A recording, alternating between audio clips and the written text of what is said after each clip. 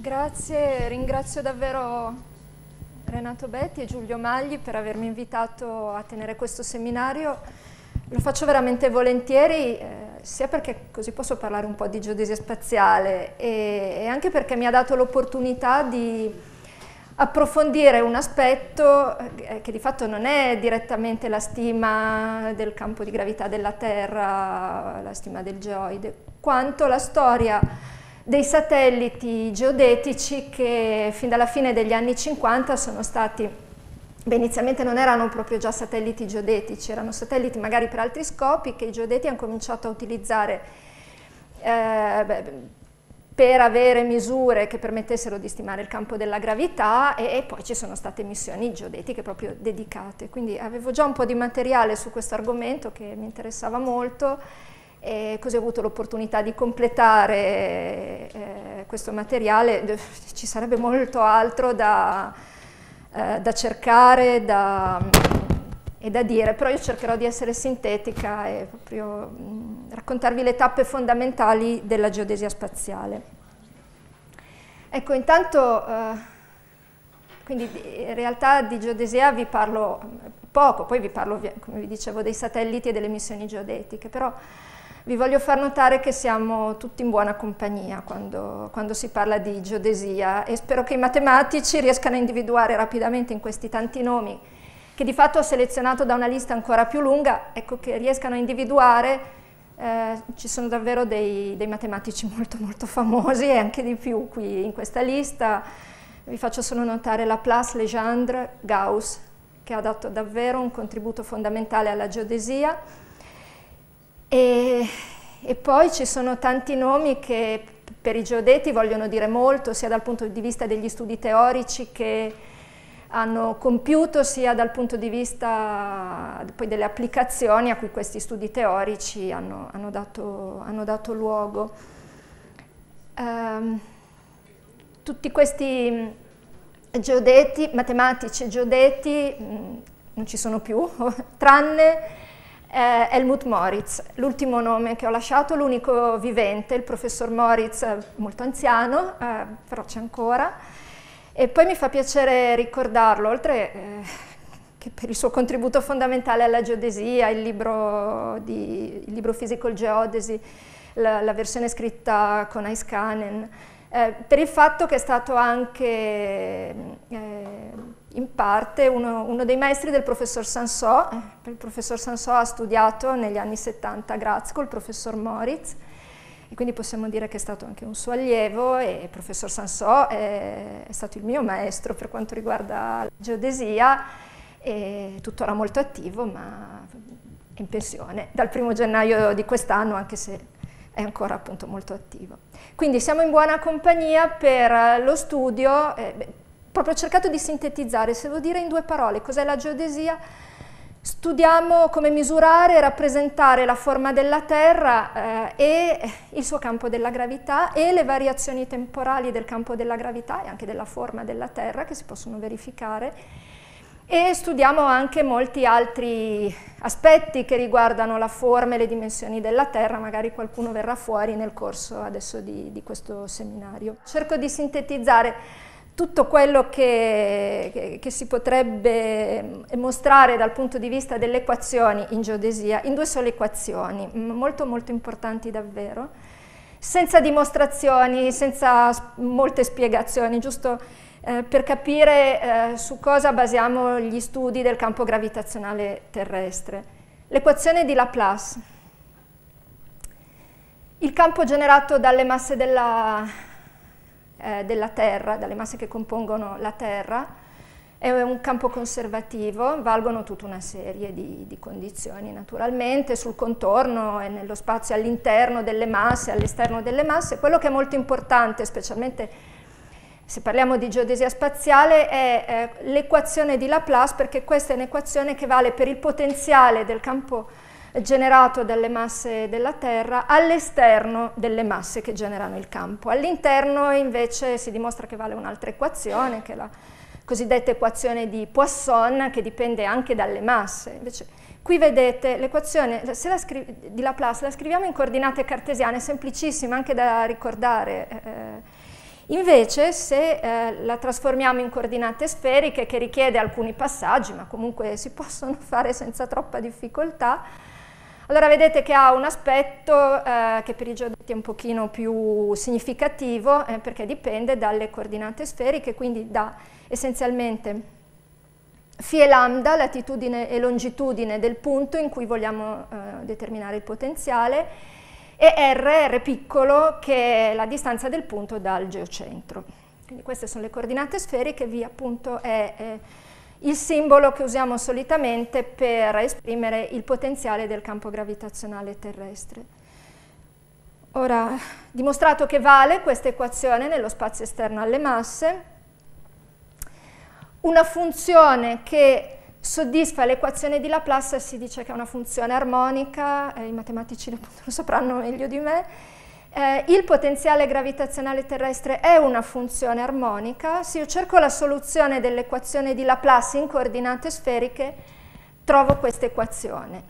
che è quella che noi eh, utilizziamo come equazione del potenziale gravitazionale terrestre. Quindi il potenziale in coordinate sferiche, quindi in funzione di r, φ e lambda,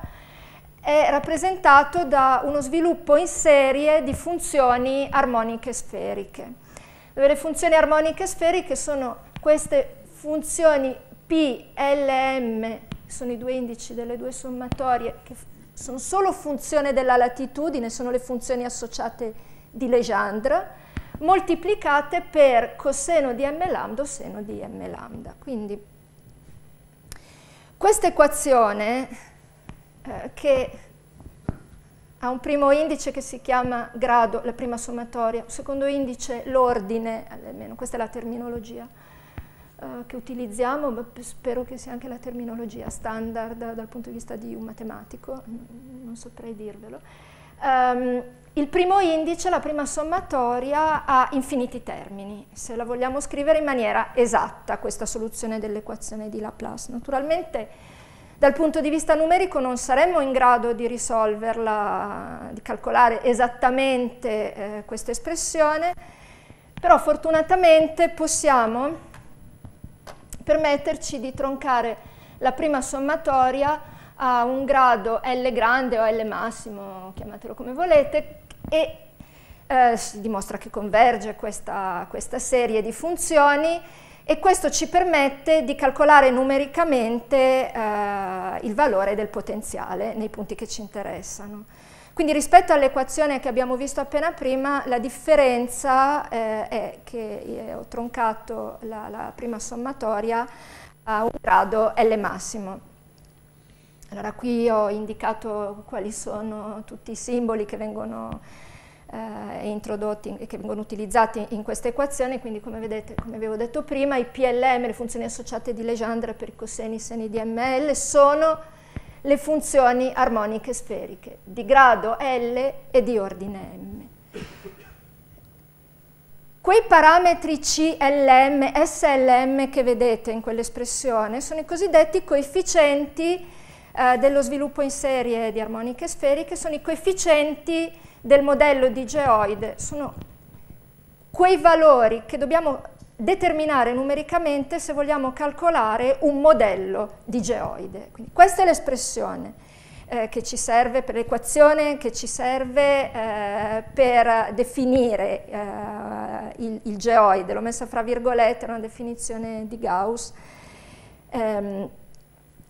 se vogliamo determinarlo numericamente, un modello di geoide, dobbiamo essere in grado di fare un numero di misure sufficienti a consentirci di risolvere un problema di stima eh, dei parametri di questa equazione, CLM, SLM, insomma. Questi coefficienti ce ne sono, esattamente dovrebbero essercene L più 1 per L più 2, ma diciamo per avere un'idea del numero di coefficienti che dobbiamo calcolare per calcolare un modello di geoide sono L alla seconda, il grado alla seconda. Uno per la parte coseno e uno per la parte seno di questa equazione. Uh, I modelli più recenti arrivano a un grado massimo superiore a 1000, quindi questo vuol dire come ordine di grandezza un milione di coefficienti da stimare numericamente, quindi un numero molto elevato di misure che coprano tutta la superficie terrestre per determinare un modello di geoide. E, eh, ah, ecco, qua avevo anche inserito, ma molto velocemente, per avere un'idea che aspetto hanno le funzioni associate di Legendre, quelle che avevo, che, che avevo, chiamato PLM di seno di φ che avevamo visto nell'equazione precedente, qui non ho spiegato tutti i simboli, quindi sicuramente c'è qualcosa di misterioso, eh, però hanno questo aspetto da, eh, questo è il seno di teta, quindi diciamo la colatitudine, da polo sud a polo nord. Oh, scusate da polo sud a polo nord. Queste le funzioni associate di Legendre per un eh, LM questi sono i polinomi, cioè per m uguale a 0. Cosa succede quando m uguale a 0? Questi si chiamano polinomi di Legendre, sempre da polo sud a polo nord. E un'altra cosa carina che si può vedere adesso, che si possono programmare queste funzioni in MATLAB, è l'aspetto di queste base function che si utilizzano per rappresentare il geoide, eh, quindi le armoniche sferiche. Queste sono alcune armoniche sferiche di grado 6 e di ordine diverso. Io ricordo che nel libro del Cola che studiavo un bel po' d'anni fa, eh, del libro di geodesia spaziale, non era possibile ovviamente avere figure dire, così belle da vedere che ci facessero capire che aspetto hanno queste funzioni, quindi erano figure molto più approssimative e in due dimensioni. Quindi io personalmente ricordo avevo delle grosse difficoltà a capire effettivamente quale fosse l'andamento, l'aspetto di queste funzioni in funzione della latitudine o della longitudine, che comunque è un grosso aiuto, io trovo, per almeno visualizzare cosa vuol dire rappresentare il geoide in termini di una base di funzioni armoniche sferiche. Eh, ecco, quello che eh, prima di farvi vedere le figure eh, vi stavo spiegando, è appunto dobbiamo determinare questi coefficienti CLM e SLM che misure ci occorrono? In geodesia noi possiamo utilizzare per stimare questi coefficienti delle misure di gravità essenzialmente, perché ovviamente il campo di gravità della Terra dipende dalla distribuzione delle masse, dalla densità delle masse eh, sulla superficie terrestre e anche all'interno della superficie terrestre, che rende le cose anche abbastanza complicate. Comunque essenzialmente si possono fare misure di gravità da terra con dei gravimetri, oppure possiamo montare i gravimetri a bordo di aerei e quindi abbiamo la gravimetria da aereo, quindi l'aereo è la piattaforma su cui si può montare il gravimetro, oppure, oppure possiamo fare misure da satellite, però attenzione, sono misure da satellite in realtà non, non sono misure eseguite con un gravimetro, ma con strumentazione un po' diversa come appunto scopriremo poi nel corso della parte principale eh, del mio seminario. E tenendo anche sempre presente un'altra, un questione che eh, vedete, vedete, qui, eh, all'interno della doppia sommatoria subito io ho un termine che è un rapporto fra un R grande e un R piccolo. R grande è il raggio medio terrestre, R piccolo è la distanza pu del punto di cui voglio conoscere il potenziale rispetto al geocentro. Allora più mi allontano dalla superficie terrestre, questo è un termine che attenua l'effetto del campo,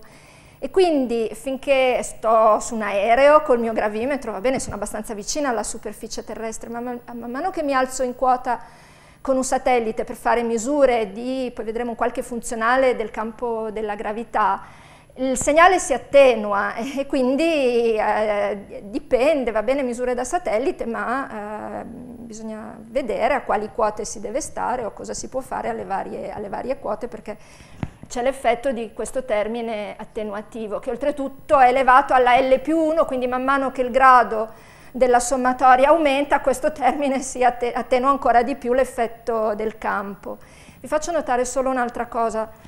per quanto riguarda questa equazione, che qui davanti alla doppia sommatoria c'è il cosiddetto termine centrale, G è proprio la costante gravitazionale universale, m grande è la massa della Terra, tutta la massa della Terra, e r grande è il raggio medio terrestre. Il potenziale V sarebbe uguale esattamente a Gm su R se tutta la massa della Terra fosse concentrata in un punto, l'effetto del campo centrale, o se fosse uniformemente distribuita all'interno di una sfera, eh, diciamo così. E ovviamente questo non è, prima di tutto c'è l'effetto dello schiacciamento ai poli, che è un grosso effetto sul campo gravitazionale terrestre, e poi gli effetti eh, che vengono tenuti in conto grazie a tutte le altre armoniche. Ecco, in termini numerici, quindi, scusate, in termini numerici noi possiamo avere molte misure appunto di gravità o misure di qualche altro funzionale del campo gravitazionale terrestre, diciamo essenzialmente semplificando davvero molto, eh, pensate di risolvere un problema di stima di parametri a minimi quadrati, un grosso grosso sistema di equazioni in realtà un pochino più complessa la faccenda, ci sono equazioni di condizioni, si possono stimare quindi a partire da equazioni d'osservazione di gravità e appunto di altri funzionali, si possono stimare i coefficienti, questo è esattamente il CLM, SLM, per i diversi gradi e ordini, eh, questi sono appena fino a grado 4, è un esempio di un modello, non mi ricordo neanche più qual era un, un modello OSU, probabilmente un modello un po' vecchio, ma non importa, è giusto per vedere, numericamente vuol dire questo, stimare il geoide, calcolare i valori dei parametri eh, dello sviluppo in serie di armoniche sferiche con i corrispondenti errori di stima naturalmente. Dal punto di vista numerico va benissimo, questo è un modello di geoide. Dal punto di vista visivo, se voglio vedere qual è l'aspetto eh, del geoide, allora posso tradurlo in mappe questi coefficienti possono dar luogo a mappe o di anomalie di gravità, come eh, in questo caso su tutta la superficie terrestre, questo modello globale, oppure di ondulazioni del geoide, ondulazioni del geoide, cioè le, diciamo, una mappa di distanze eh, del, del geoide rispetto ha una superficie di riferimento più semplice che di solito è un ellissoide, quindi una bella superficie liscia, calcolo le distanze del geoide rispetto all'ellissoide. Questa è una mappa eh, di... non lo so dire con esattezza, scusate, non mi ricordo se sono... perché non riesco a leggere i numeri, credo che siano ondulazioni del geoide, credo che siano ondulazioni. Eh, L'altra cosa che possiamo ricordare è che dal punto di vista fisico il geoide, se vogliamo immaginarci mai il geoide dov'è, dove passa, come lo individuo, è eh, sotto una serie di condizioni molto particolari, è coincidente con la superficie media dei mari, degli oceani, come se noi lo prolungassimo sotto le terre emerse e se fossimo davvero in condizioni molto ideali, tutto fosse perfetto, diciamo così, potremmo pensare che il geoide coincide esattamente con la superficie dei mari, che naturalmente non è. Allora, adesso andiamo ai nostri satelliti. Eh, ovviamente, come vi avevo detto, si devono fare misure di gravità a terra, mh, mm, si fanno molte misure di gravità da aereo, però se vogliamo avere una buona copertura di tutta la superficie terrestre con una serie di dati che ci possono consentire di calcolare un modello globale, eh, di geoide, allora eh, do dobbiamo sfruttare la tecnologia spaziale. E, e, la geodesia ha cominciato subito a, diciamo, a sfruttare la tecnologia spaziale fin dall'inizio dell'era spaziale. Allora qui ho cominciato a raccogliere appunto un po' di immagini e di, di dati sui primi satelliti artificiali che sono stati messi in orbita attorno alla Terra. Naturalmente lo scopo non era la, la geodesia, ma poi i geodeti sono stati pronti a, a, cogliere questa opportunità. E qui naturalmente non poteva mancare quello che, viene, che è il primo satellite artificiale della Terra, che sapete era, un, era allora Unione Sovietica, uh, Sputnik 1. E ho trovato, vi dirò tutta una serie di curiosità uh, molto velocemente da quello che vedo da allora. Eh, Sputnik vuol dire compagno di viaggio, eh, sì. e cioè in astronomia è il termine russo che si usa per dire eh, satellite, quindi di fatto vuol dire satellite, semplicemente. 1957 Uh, uno dei due famosi cosmodromi dell'Unione Sovietica, Baikonur, fu quello da cui fu lanciato, poi Baikonur anche il, fu anche il cosmodromo da cui fu lanciato Gagarin nello spazio, non su uno Sputnik, eh, ma attualmente è Kazakistan, eh, non, è più, non è Russia. Ecco, e già dallo Sputnik 2, che fu lanciato poi subito dopo, e la figura che vedete qui Sputnik 2. Poi anche gli americani cominciarono a lanciare, il primo satellite artificiale americano eh, fu successivo a quello sovietico, era Explorer 1, comunque 1958, e già questi due satelliti furono utilizzati per scopi di geodesia perché fu possibile determinare con maggiore esattezza, rispetto maggiore precisione rispetto alle conoscenze precedenti lo schiacciamento terrestre e questo è, come vi dicevo prima, il più grosso effetto dopo centrale, eh, dopo l'effetto di campo centrale sulle, eh, sul campo gravitazionale terrestre. E allora qui ho aggiunto al volo stamattina è il libro di Cola, quello che è servito a, tu a tutti noi che facciamo geodesia spaziale o l'abbiamo fatta, il Theory of Satellite Geodesy, cioè come usare i satelliti artificiali per applicazioni di geodesia, 1966. Allora adesso vado veramente velocemente perché qua ce ne sono tantissimi di satelliti interessanti e vediamo anche proprio come la, la tecnologia si è evoluta e come la geodesia l'ha sfruttata. Essenzialmente, ecco, ma che cosa si misura dallo spazio?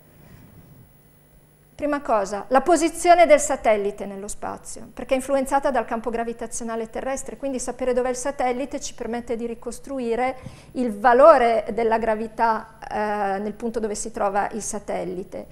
Quindi c'è tutto, adesso vi, faccio, vi mostro tutta una serie di satelliti che servivano come satelliti da tracciamento con uh, vari tipi di strumentazione. Quindi il satellite era, ed è tuttora, perché ce ne sono tuttora diversi in orbita, la proof mass, quella che veniva tracciata da terra. E la prima, uh, la prima serie di satelliti per il tracciamento per geodesia spaziale fu la serie ECO uh, degli Stati Uniti, questi erano i satelliti pallone, c'erano letteralmente dei palloni di 30-40 metri di diametro, che ovviamente non venivano lanciati come palloni, ma venivano gonfiati una volta in orbita ed erano di dimensioni così grandi di un materiale molto particolare, un,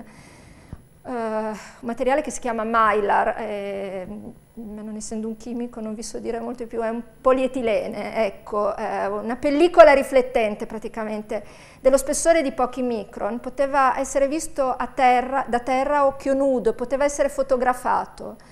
fotografato sullo sfondo delle stelle fisse e così veniva determinata la posizione del satellite.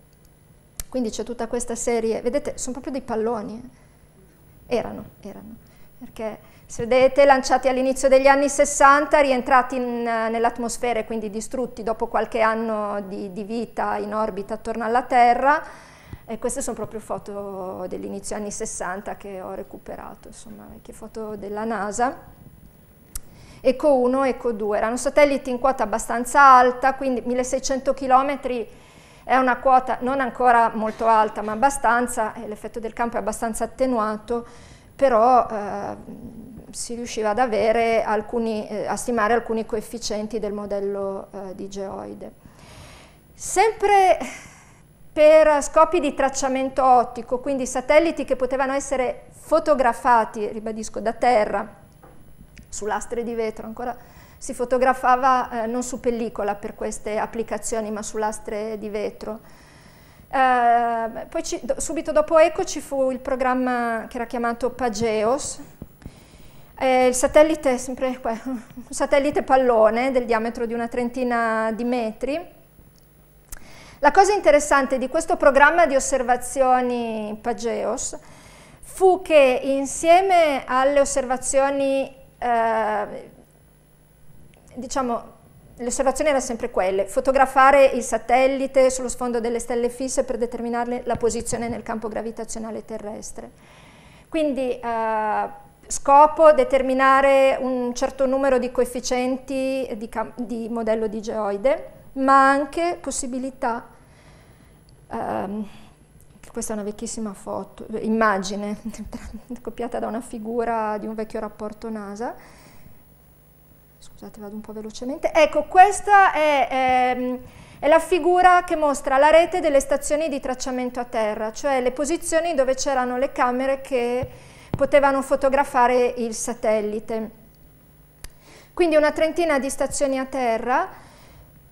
di cui poi si sono calcolate anche le coordinate. Di fatto questa fu la prima rete eh, unica di inquadramento e di riferimento sulla superficie terrestre. Erano stazioni non intervisibili da terra, quindi non, non si sarebbe potuto determinare eh, diciamo così, la posizione reciproca con metodi topografici tradizionali, ma invece si poteva farlo grazie a questo programma Pageos. Quindi eh, due risultati, il primo modello eh, di geoide da dati ottici, quello che si chiamava Standard Earth 1 dello Smithsonian Astrophysical Observatory, e le coordinate di 25 stazioni a terra con una precisione che al, al giorno d'oggi sembra un po' ridicola, però eh, negli anni 60 per un'accuratezza globale sulla rete delle stazioni di 5-15 metri era un risultato già molto interessante. E poi, questo dobbiamo ricordarlo, non so se riuscite a, a vedere um, questa stazione a nord nella, della Norvegia, Tromso, quella che sto indicando col puntatore, e se ci vedo bene, questa Catania. Ecco, la baseline Tromso-Catania fu misurata grazie anche alla collaborazione di quello che allora era l'Istituto di Topografia del Politecnico di Milano, nella, nella persona del professor Sansò, quindi possiamo ricordarlo eh, di nuovo. Ecco, dopo il tracciamento ottico, sempre per quanto riguarda dati di tracciamento da satellite, c'è tutta una serie di satelliti eh, dotati di questi corner cube prisms, cioè prismi retroriflettenti. Eh, questi satelliti hanno, lo, lo, vedrete adesso qualche figura, hanno proprio l'aspetto di sfere, di palle, di 30-60 cm di diametro, completamente coperti di questi prismi retroriflettenti, vengono tracciati da terra non più con tracciamento ottico ma con tracciamento laser, quindi da una stazione dotata di un apparato laser a terra. Di questi satelliti ehm, Vabbè, il primo si chiamava Beacon B, sempre all'inizio degli anni 60 degli Stati Uniti. Poi altri di questa serie, già vedete che l'accuratezza era scesa di un ordine di grandezza, un metro, un metro e mezzo, adesso siamo a qualche millimetro, ecco il laser. Tutti i satelliti che si usano in geodesia, che si sono usati, ormai sono equipaggiati con alcuni prismi retroriflettenti, perché comunque danno modo di tracciare il satellite con elevata accuratezza. Um, vado un po' velocemente adesso su questi. Questo è stato un esperimento interessante di tracciamento, una rete di stazioni che tracciavano sia uh, in maniera ottica che con laser e sono state uh, utilizzati entrambi i tipi di misure di tracciamento e, quindi con una rete, con questo esperimento ISAGEX che ha dato luogo a nuovi modelli standard Earth, il numero 2 e il numero 3, e poi è iniziata la serie di modelli che in geodesia sono molto famosi, GEM e GRIM, che poi sono stati migliorati fino agli anni 80 e forse anche oltre. Ecco, questo è l'aspetto dei satelliti per il tracciamento laser, vedete, sono proprio delle sfere completamente coperte di prismi retroriflettenti. L'Ageos è ancora in orbita nello spazio, entrambi i Lageos e credo anche Etalon 1 e 2 che sono gli equivalenti russi. Questo è l'aspetto di Etalon e questo di Lageos. All'Ageos 2 ha partecipato anche l'Agenzia Spaziale Italiana, quindi c'è una partecipazione italiana a questo progetto e poi i francesi hanno lanciato Starlet e Stella, quindi ce ne sono diversi di questi satelliti per tracciamento laser. Questi satelliti sono in un'orbita um, sempre abbastanza alta, l'Ageos è circa 6.000 km, Stelle Starlet meno di 1.000 km, quindi decisamente in orbita più bassa, hanno una massa anche più piccola, però appunto non ho riportato tutti i dati e, e ripeto vado via un po' velocemente. Questo, questa è la stazione di tracciamento laser del GFZ Potsdam, e, beh, questa figura è solo, così come dire, bella perché è, è, il laser in funzione durante una misura notturna, quindi è solo bella da vedere, non è significativa per qualche motivo. Ecco poi, tracciamento di satelliti. Eh, la tecnologia ha permesso poi, più, dopo, dopo qualche anno, di cominciare a fare esperimenti di tracciamento con segnali in radiofrequenza. Questo è interessante, e, diciamo, i primi esperimenti li hanno fatti addirittura all'inizio degli anni 60. Il primissimo è fallito, il primo transit non era andato molto bene, però il secondo transit eh, era stato testato con successo, quindi nel 64 hanno iniziato a usare questo sistema transit di tracciamento Doppler, essenzialmente per scopi di navigazione. Questo era un sistema implementato per la Marina degli Stati Uniti ed è il precursore del GPS. Prima del GPS c'era Transit, eh, di fatto è diventato obsoleto quando hanno cominciato a utilizzare il sistema GPS. Però lo scopo del satellite era di inviare il segnale a terra, eh, il segnale veniva ritrasmesso sul satellite e veniva misurato l'effetto Doppler al momento della ricezione del segnale eh, riflesso. Questo ho proprio sottolineato, io lo faccio notare sempre ai miei studenti, eh, perché il GPS funziona così come transit, quindi con ovviamente miglioramenti tecnologici, ma il principio è quello, perché il segnale non viene inviato da una stazione a terra, da una posizione sulla superficie terrestre, il segnale viene inviato dal satellite verso la superficie terrestre, quindi poi viene ricevuto, veniva trasmesso nel caso del, delle misure Doppler. Siccome questi sono tutti sistemi nati per scopi militari, Uh, se il punto a terra non invia un segnale non è rintracciabile in linea di principio, quindi l'idea era quella. La stazione a terra non invia nessun segnale, riceve solamente una stazione ricevente, non deve poter essere localizzabile. È il motivo per cui è stato pensato in questo modo. Poi è stato utilizzato appunto fino all'avvento del GPS ed è stato utilizzato, questa è proprio una curiosità che ho scoperto, anche in coppia con satelliti spia nel periodo della guerra fredda, quindi il transit veniva lanciato anche insieme a altri satelliti di una serie vabbè, di cui io non sapevo niente fino ad aver fatto un po' queste ricerche per mia curiosità. Questa serie si chiamava GRAB ed erano satelliti spia dell'intelligence degli Stati Uniti. Però venivano, come dire, se ho capito bene, camuffati e lanciati insieme a satelliti che avevano appunto scopi più dire, trasparenti, più, eh, non misteriosi. Ecco. E, e, questo sempre per curiosità, ma ve la faccio notare perché qua ci sono davvero delle, eh, delle particolarità eh, interessanti. Questo è un esempio di strumentazione di una stazione di tracciamento Doppler per la serie dei satelliti Transit. Tutta questa strumentazione intanto è analogica, è molto analogica, è talmente tanto analogica che guardate il numero 5. Lo vedete, il numero 5 che corrisponde all'archivio delle effemeridi, cioè delle posizioni del satellite approssimate lungo l'orbita, per tracciarlo devo sapere prima in maniera approssimata dove lo trova, sono dei fogli di carta, d'accordo? Quindi il supporto è molto analogico e anche è interessante il numero 12, un nastro di carta perforato, immagino per memorizzare informazioni e poi ne avevo trovati altri cercando, insomma sempre, ah ecco il 4. Il 4 sono parametri di conversioni di sistemi di tempo, di misura di tempo, anche lì su carta, su fogli di carta. Quindi insomma direi che è una curiosità, ma teniamone conto, anni 60. Ecco, ehm, poi anche i francesi hanno, la, eh, l'agenzia spaziale francese ha al suo attivo davvero molte missioni, a parte mm,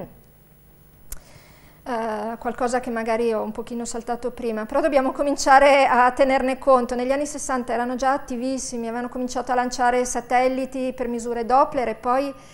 eh, grazie ai francesi che abbiamo avuto missioni molto, alla tecnologia diciamo francese che abbiamo avuto missioni molto recenti e molto interessanti per il campo della gravità. Poi vorrei andare, ma davvero, due parole molto molto velocemente sulla radar altimetria, che fra l'altro è una parte della geodesia spaziale, che quella che io forse conosco un pochino di meno, non me ne sono mai occupata direttamente in maniera particolare, però eh, la radarattimetria eh, consente attraverso strumenti dei radar a bordo dei satelliti di misurare la distanza rispetto alla superficie degli oceani, quindi misurano solo su acqua o sulle calotte polari, sul ghiaccio insomma. Perciò ci possono dare una gran quantità di dati ma non sulla, sulla terraferma e eh, comunque la radar altimetria ha un grosso, non problema insomma perché ovviamente si risolve, però bisogna tenere presente, io prima vi ho detto il geoide lo facciamo coincidere con la superficie degli oceani in condizioni molto ideali, ma se in condizioni ideali non, so, non siamo, c'è uno scostamento fra la superficie dei mari, quella che nella figura qui si chiama SST, Sea Surface Topography, e il geoide e questa distanza, questa differenza bisogna poterla discriminare. Allora tipicamente, e semplificando anche qua un pochino, o conosco un buon modello di geoide e riesco a stimare la superficie dei mari, questo per gli oceanografi, per le applicazioni di oceanografia è quello che si vuole fare di solito, viceversa, conosco un buon modello di sea surface topography e uso i dati per poi scrivere equazioni che mi permettono di ricavare il modello di geoide. Ci sono stati tanti satelliti equipaggiati per la radar altimetria, i più famosi sono i satelliti ERS dell'Agenzia Spaziale Europea, che sono stati lanciati all'inizio degli anni 90, le due missioni sono terminate. Eh, questi, questi, erano satelliti per telerilevamento fondamentalmente, quindi portavano davvero una quantità di strumentazione molto variegata, fra cui però vedete il radar altimetro. Questo, questa sigla PRARE indica che erano equipaggiati con un Doppler e anche eh, dei prismi retroriflettenti per il tracciamento laser, più un'antenna SAR, cioè un Synthetic Aperture Radar, più altra strumentazione per misure di altro genere, non specificamente di, di geodesia. Questo è l'aspetto dei satelliti ERS che avevano, perché 2000 e 2001 le missioni sono terminate. E poi un'altra famosa, davvero famosa missione di radar altimetria è stata Topex Poseidon, che ha avuto anche dei successori, Ecco, voglio dedicare gli ultimi 10, 5-10 minuti, 5-10 minuti alle misure moderne, alle, alle, missioni moderne per la misura del campo della gravità e qua dobbiamo davvero dar credito ai francesi, secondo me, in questo caso. Quindi abbiate pazienza, ho, ho preso proprio a copia e incolla e ho lasciato in francese, credo che tutti siamo in grado di, di leggere questo molto semplice. Ecco, i francesi, nella metà degli anni 70, lanciarono due satelliti, Castor e Pollux, credo che si pronunci, bassi, in orbita bassa, perigeo di 300 km, io vi faccio notare i dati importanti di questa, di questa missione. Quindi rispetto ai satelliti per la radar altimetria o per il tracciamento laser, come minimo siamo a 1000 km, qua siamo davvero in orbita bassa, sono proprio quelli che si chiamano Low Earth Orbiters, cioè LEO, satelliti LEO in orbita bassa, attorno alla Terra. Certo era un'orbita molto ellittica, perché le perigeo 300 km, l'apogeo 1290, però riusciva ad arrivare anche al perigeo davvero basso, vicino alla superficie terrestre. Questi, eh, qua vedete i due satelliti che erano accoppiati, erano due gemelli praticamente, ma poi eh, venivano separati in orbite. Avevano due scopi completamente diversi, in realtà noi interessa Castor, allora, uh, Polluce, diciamolo in italiano, serviva per testare un uh, nuovo sistema di propulsione. Purtroppo ho letto che il test non era andato molto bene, ma Castor, Castor doveva uh, servire essenzialmente per testare un accelerometro, che dal punto di vista della geodesia è molto famoso e se lo leggiamo alla francese, Cactus. E questo accelerometro eh, triassiale, ultrasensibile, era sviluppato in Francia dall'ONERA. Tuttora l'ONERA è eh, l'azienda la, la, leader per quanto riguarda eh, l'accelerometria, la misura eh, dell'accelerazione e la produzione di accelerometri. Questo test è stato fondamentale poi appunto io ho lasciato anche la parte che riguarda il gemello sfortunato, perché il gemello sfortunato non appunto, ha avuto vita breve e pare che questo test del nuovo propulsore non, non avesse funzionato granché bene, però, però i test sull'accelerometro avevano funzionato molto bene, il satellite è stato in orbita circa 4 anni, un po' meno di 4 anni, ha dato dei risultati molto buoni e sul fatto di, di, aver potuto sviluppare un accelerometro di qualità così elevata e di sensibilità così elevata sulla misura triassiale, quindi l'accelerometro triassiale ha permesso poi di sviluppare tutte le missioni moderne di geodesia spaziale. Perché di fatto anche qua detto molto in breve, un po' semplificando, eh, mettere in orbita un accelerometro all'interno di un satellite significa poter determinare le forze di superficie che agiscono sul satellite, che ovviamente è soggetto al drag dovuto all'attrito atmosferico, a tutta una serie di altri alla pressione di radiazione solare. Questi effetti di superficie devono essere discriminati dall'effetto del campo gravitazionale, perché devono essere in qualche modo depurati per trovare la, la, la, il modello di campo gravitazionale. Si può fare solo con accelerometri molto sensibili. Allora tenete conto che il cactus poteva misurare accelerazioni con un'accuratezza di 10 alla meno 9 secondi, metri al secondo quadrato, scusate, in, me, me, in metri al secondo quadrato. Gli accelerometri che hanno volato a bordo di GOS, che è stata l'ultima missione di geodesia spaziale terminata recentemente dell'Agenzia Spaziale Europea, tre ordini di grandezza meglio, 10 alla meno 12 metri al secondo quadrato ed ha davvero una sensibilità notevole per questi strumenti. Ecco, in base allo sviluppo degli accelerometri poi si è cominciato a pensare, allora se mettiamo a bordo dei satelliti, dedi a, satelliti dedicati a misure di geodesia spaziale, uno o più accelerometri possiamo sfruttare le misure in diverso modo, secondo tre diversi concetti che, che sono i concetti attuali della geodesia spaziale. Primo modo, ho l'accelerometro a bordo del satellite, un accelerometro, sono sempre accelerometri dell'ONERA, e lo dico una volta per tutti, tutti quelli utilizzati sono stati sviluppati all'ONERA. Metto l'accelerometro a bordo del satellite, in, quindi con un certo tipo di misure, di equazioni, riesco a discriminare gli effetti di superficie sul satellite, li depuro. Il tracciamento del satellite viene fatto dai satelliti GPS, certo naturalmente nel frattempo si è sviluppata anche la tecnologia GPS. E questo è un tracciamento high-low, come si suol dire, cioè da high, l'orbita del GPS, Tenete conto che i GPS sono circa 20.000 km di quota a low dove si trovano questi satelliti con gli accelerometri a bordo, che devono essere in orbite basse, massimo 400-450 km, non di più. Oppure,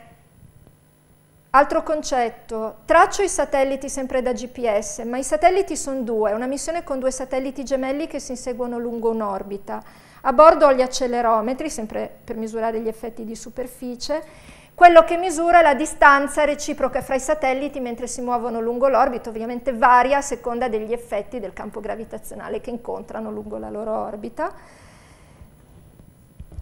Terzo concetto di missione, non uso un accelerometro a bordo di ogni satellite, uso tre coppie di accelerometri a bordo di un satellite, quello che misura sono le differenze di accelerazione.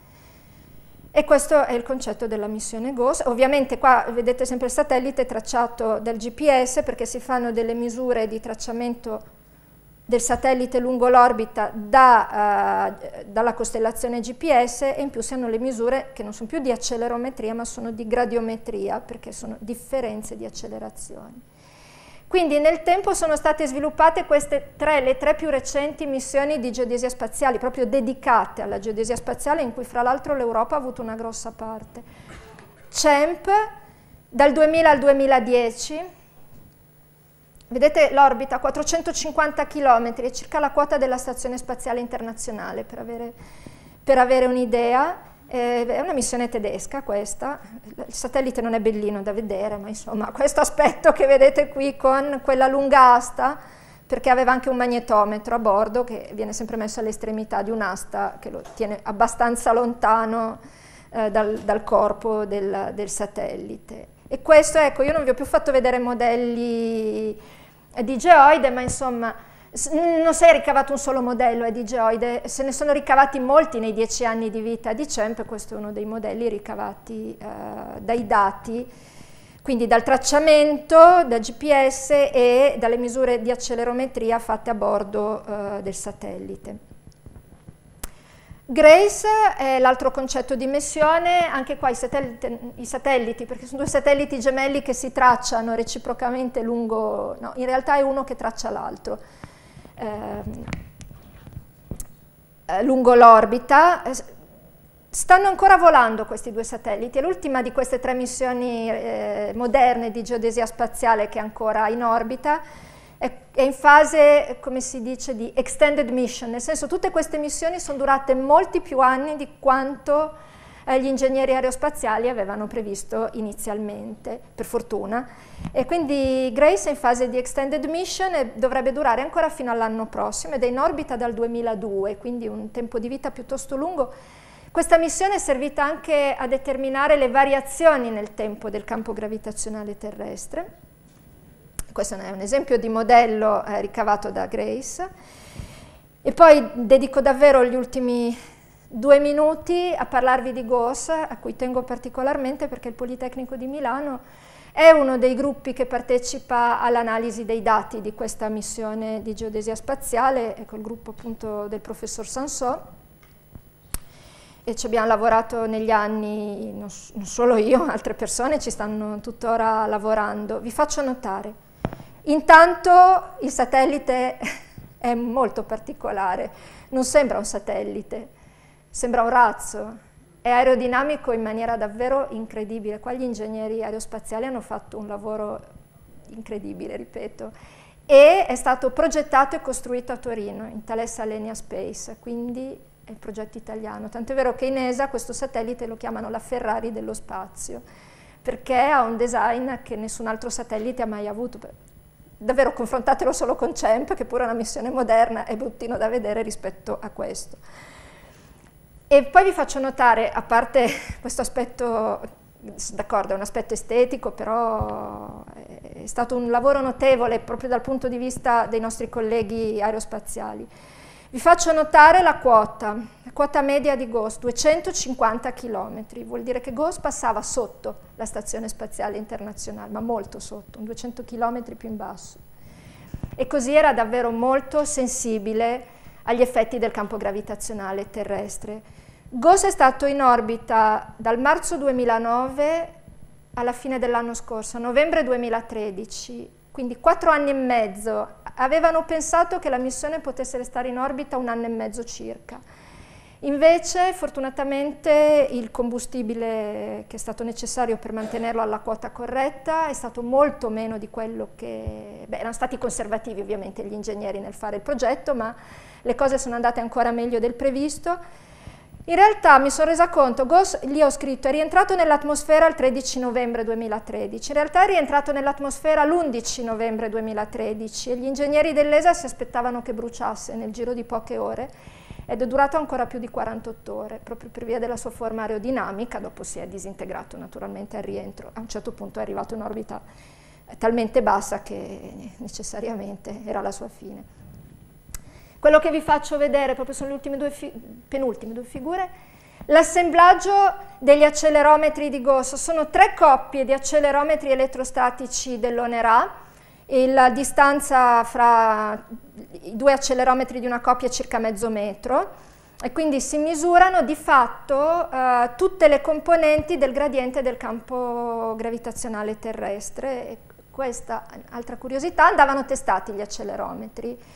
e nelle fasi di test mh, mm, un po' di accelerometri si sono distrutti, però alla fine l'Onera è riuscita a consegnare tutti e sei gli accelerometri. I test venivano fatti da questa torre a caduta libera a Brema. Questo è l'aspetto mentre veniva assemblato a Torino e mentre veniva testato eh, proprio il satellite, il, eh, la piattaforma in Olanda, all'Estec, che è uno dei centri dell'Agenzia Spaziale Europea e infine eh, concludo, questo è uno dei modelli ricavato dai dati GOS. Uh, nominalmente ci, potremmo pensare di arrivare a stimare tutti i coefficienti con GOS, tutti i coefficienti del, del modello fino a grado 220 addirittura 250. Però tenete conto, se vogliamo modelli a maggiore risoluzione dobbiamo usare anche misure di gravità da terra naturalmente. Questi sono solo dati da satellite, solo dati da GOS. Questa mappa uh, di geoide, queste sono ondulazioni di geoide, quindi in metri, vedete anche la scala qua si vede bene, questo è stato calcolato, è il primo modello che abbiamo calcolato qua al Politecnico di Milano a luglio 2010 con i primi mesi di dati GOS, dopo ne abbiamo calcolati altri, in realtà uh, i miei colleghi stanno ancora calcolando nuovi modelli più aggiornati perché quando GOS ha cominciato a decadere eh, su orbite più basse, e quella è stata una scommessa, farlo, lasciarlo scendere su orbite più basse, perché alcuni dicevano non dura uh, su orbite più basse, cioè cadrà molto velocemente e si distruggerà. Invece è rimasto diversi mesi su orbite davvero molto, molto più basse dei 250 km nominali e quei dati sono preziosissimi perché eh, l'effetto del campo gravitazionale che sentono è davvero ancora più elevato. Certo che è un, è, un, è un, lavoro che ha bisogno di una grande collaborazione internazionale. Sì.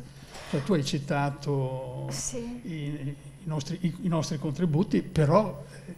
Beh, allora, eh, solo per dare un'idea, sono missioni che richiedono eh, almeno una ventina d'anni, la mia esperienza, per quanto poi, insomma, si limita a, a, una, a una missione e al precursore di questa missione però io lavoro eh, su questi argomenti dal 1987, fondamentalmente sì. quando c'era un vecchio concetto di missione per la gradiometria che si chiamava Aristoteles e ci sono voluti circa vent'anni per mandare in orbita il satellite e ci vorranno almeno dieci anni per sfruttare tutti i dati e studiarli, sì. ci vogliono grossi, grossi o medio-grossi gruppi di ricerca su GOS lavorano 10 gruppi di ricerca a livello europeo, solo per l'analisi dati, solo per l'analisi dati. Sì, no, poi per la costruzione di tutte... La costruzione è stata italiana, in questo caso per questo ci tenevo a sottolinearlo, il centro di controllo di GOS dell'ESA è in Germania, il lancio è stato fatto a Plesetsk, eh, sì, Plesetsk in Russia. Quindi il vecchio citato del 1957 Sputnik era un autarchico e non poteva certo seguire e avere de delle Beh, poi ci sono tanti... Degli scopi di tipo geodetico? No, no, però già con Sputnik 2, eh, vi facevo notare, sono riusciti a determinare con una certa accuratezza lo schiacciamento terrestre. Sì, sì, sì. Ci sono domande? Nel corso della conferenza è stato osservato qualcosa anche riguardo alla misura del campo magnetico. Eh, ci può dire qualche cosa? Eh, sì. Uh, anche qua eh, gli aspetti sono talmente tanti quando si parla di questi satelliti che è davvero di difficile che io riesca a essere esauriente su tutto, però vi avevo fatto notare semplicemente che questo satellite CEMP ha quella lunga asta, la figura, eh, già satellite non è bello, la figura non è meravigliosa, sono questi rendering che fanno per dare un'idea di che aspetto ha eh, quest'asta tecnicamente in inglese si chiama boom, è fatta apposta per avere il magnetometro all'estremità, quindi sì, si fanno misure del campo magnetico, erano, erano pensate anche eh, per il precursore di Gauss, eh, che si chiamava Aristotele, che io ho studiato durante il dottorato, che poi è stato sostituito da, da Gauss semplicemente perché la tecnologia è, è stata superata, è molto avanzata si pensava di avere quest'asta con il magnetometro. Credo che l'idea dell'asta è perché il magnetometro deve stare abbastanza lontano appunto dal corpo del satellite per non eh, risentire gli effetti del satellite. E dopodiché si fanno queste misure che eh, qualcuno che è esperto di determinazione del campo magnetico terrestre riesce a sfruttare. Su GOS non è stato posto nessun magnetometro, eh, non, non mi risulta che ci fosse ci sono su altri satelliti. Se vedete una lunga asta in ah, cima a un satellite è un magnetometro, adesso lo sapete, no? questa è un'antenna, ma uh, no, eh, bisogna cercare bene perché ormai, tu, ecco, questo Geosat è possibile che avesse anche il magnetometro perché, perché ormai questi satelliti dagli anni 80 in poi erano, portavano tutta una, una, serie di strumenti molto complessi, non è semplicemente dei satelliti pallone. Ecco. Ci sono altri? L'altra cosa invece era, ehm, da quello che si è detto eh, sembra che eh, si possa, cioè quello che si tratta è di individuare la gravità terrestre ma non si è capito se riguarda semplicemente la superficie o anche eventualmente distribuzione di masse interne. Ah sì, eh, certo. La geodesia si occupa anche di quelle, è un interessante problema inverso, cioè eh, studio la gravità sulla superficie terrestre e cerco di determinare le masse che generano il campo. Non è un problema banale, fino a dieci minuti fa c'era qui in sala il professor Barzaghi che è davvero un esperto di questo aspetto della geodesia. Infatti eh, si lavora di solito a contatto con i geofisici, ci sono molti scopi anche davvero pratici e applicativi come ricerche petrolifere, ricerche minerarie, eh, non è un problema banale da risolvere, però è, è, un problema diverso rispetto a quello di cui ho parlato oggi, cioè parlavo della determinazione del geoide, quindi della forma della superficie terrestre se volete, risolvere il problema inverso, io conosco il campo e cerco di risalire alle masse che l'hanno generato, non è certamente banale, questo meriterebbe credo tutto un altro seminario però da parte del professor Barzaghi. Vi ringrazio.